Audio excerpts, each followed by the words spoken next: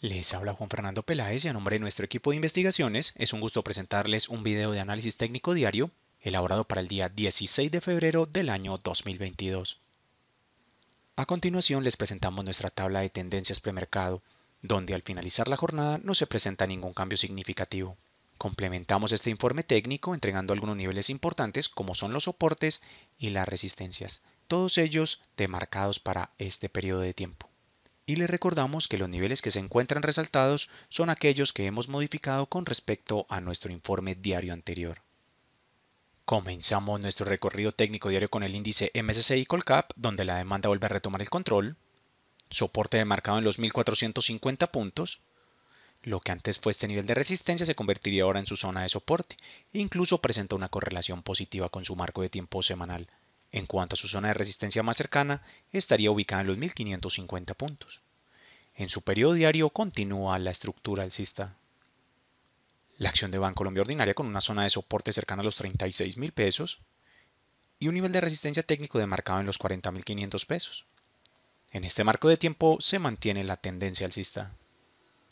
La acción del Banco de Bogotá elaborando velas tipo doji por segunda jornada consecutiva, soporte demarcado en los 74 mil pesos y una resistencia técnica cercana a los 77.600 pesos. En su marco de tiempo diario se mantiene la tendencia alcista. La acción de la BBC con una zona de soporte demarcada en los 10.000 pesos y una resistencia técnica ubicada en los 10.700 pesos.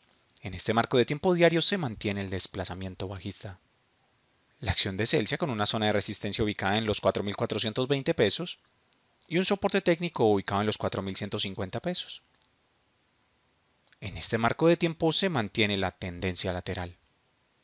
La acción de Cementos Argos Ordinaria con una zona de soporte ubicada en los 6.000 pesos, este nivel que vemos en esta zona, y una resistencia ubicada en los 6.500 pesos.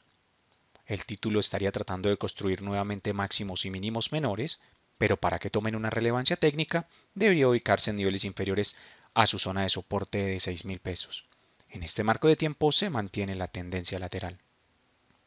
La acción de Canacol con una zona de soporte cercana a los 9.700 pesos y una resistencia ubicada en los 10.500 pesos. En este marco de tiempo permanece el desplazamiento lateral. La acción de Corfi Colombiana Ordinaria con una zona de soporte ubicada en los 28.400 pesos. Esta congestión que vemos en esta zona y una resistencia ubicada en los 30.500 pesos. En este marco de tiempo se mantiene la tendencia lateral. La acción de Ecopetrol con una zona de soporte cercana a los 2.850 pesos y un nivel de resistencia demarcado en los 3.080 pesos. En este marco de tiempo se mantiene la tendencia alcista. La acción de ETB con una zona de soporte demarcada en los 180 pesos y un nivel de resistencia técnico ubicado en los 192 pesos. En su marco de tiempo diario se mantiene la tendencia bajista. La acción del Grupo Energía Bogotá con una zona de resistencia ubicada en los 2.600 pesos, este nivel que vemos en esta zona, y un soporte técnico demarcado en los 2.425 pesos, que sería la parte inferior de su estructura. En este marco de tiempo permanece el desplazamiento lateral.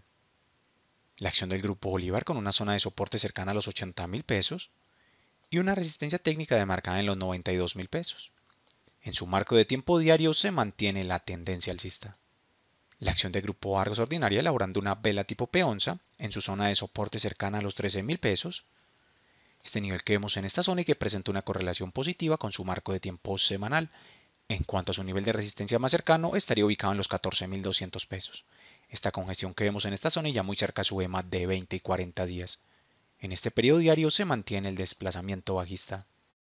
La acción de Grupo Sur Ordinaria con una zona de resistencia cercana a los 37.800 pesos y un soporte técnico ubicado en los 35.300 pesos. En este marco de tiempo se mantiene el desplazamiento alcista.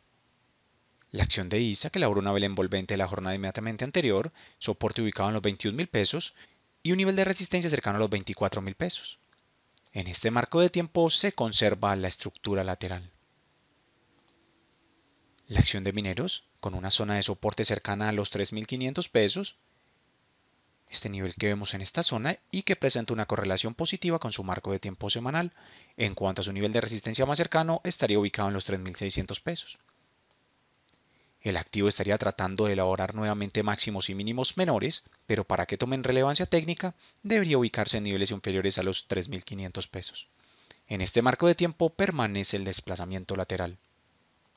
La acción del grupo Nutresa con una zona de soporte cercana a los 39 mil pesos y una resistencia técnica ubicada en los 41 mil pesos. En este marco de tiempo se mantiene la tendencia alcista.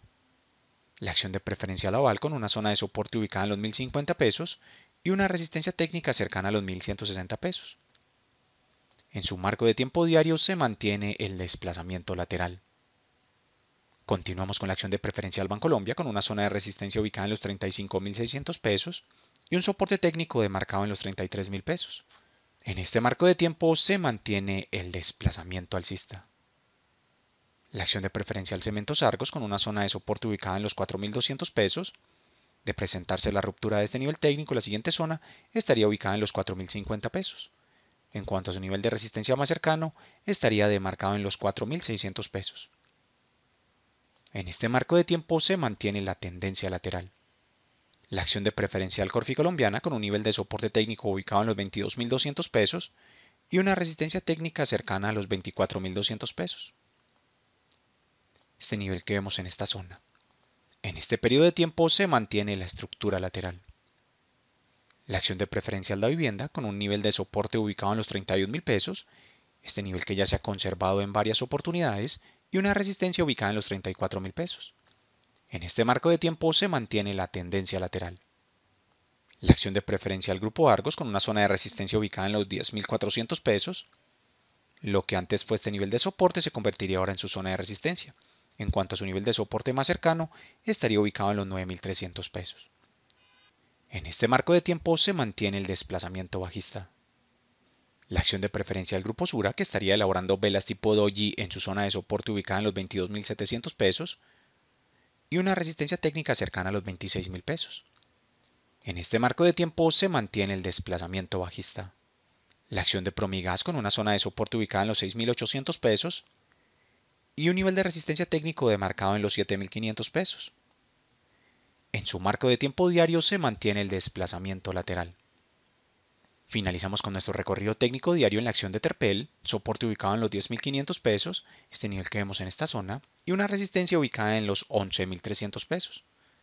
En este marco de tiempo se mantiene la tendencia alcista.